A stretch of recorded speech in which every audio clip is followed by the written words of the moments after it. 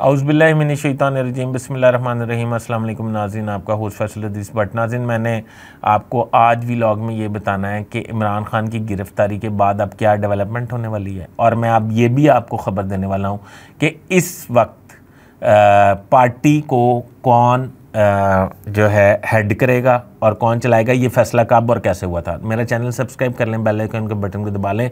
नाजिन तो शुरू करते हैं कि इस वक्त पाकिस्तान में बहुत सारे पीटीआई के सीनियर अरकान जो हैं, उन्होंने ये शर्त आयद कर रखी थी कि जब तक इमरान खान साहब जो हैं, वो गिरफ़्तार नहीं हो जाते, क्योंकि उनका ये ख्याल था कि वो गिरफ़्तार नहीं होंगे इस्टेब्लिशमेंट उनके साथ हाथ ना करते जब तक वो गिरफ़्तार नहीं हो जाते, तब तक वो पीटीआई नहीं छोड़ेंगे और दूसरी पार्टी ज्वाइन नहीं करेंगे।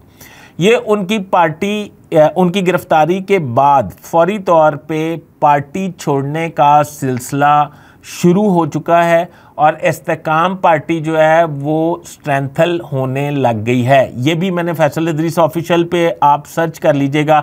मैंने अपने ब्लॉग में बताया था कि ये इस्तेकाम पार्टी और परवेज़ खटक वाली तरीके इंसाफ पार्ट, पार्लियामेंटेरियन, ये दोनों जो हैं स्ट्रेंथल होंगी पीपल्स पार्टी और मुस्लिम लीग नून जो है वो डिक्लाइन की तरफ़ जाएँगी, क्योंकि उन्होंने अवाम के साथ भी अच्छा नहीं किया और इस्टेबलिशमेंट और मुल्क के साथ भी अच्छा नहीं किया। अच्छा तो दूसरी बात मैं ये आपको इंपॉर्टेंट खबर ये देना जा रहा हूँ, शाह महमूद कुरैशी, परवेज़ लाई और जो भी लोग हैं, वो सब जो हैं मुँह की खा गए हैं।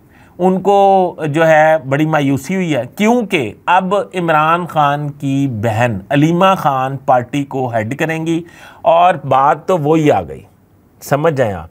जिन, इमरान खान हमेशा दूसरी पार्टीज़ पे ये इल्ज़ाम आयद करते रहे कि मारूसी सियासत। तो मारूसी सियासत हर जगह पे है। मेरे ख्याल बर सग़ीर में ये खमीर है हमारा। ये मिट्टी ऐसी है कि हम इकतदार और इख्तियार अपने ख़ानदान से बाहर नहीं दे पाते।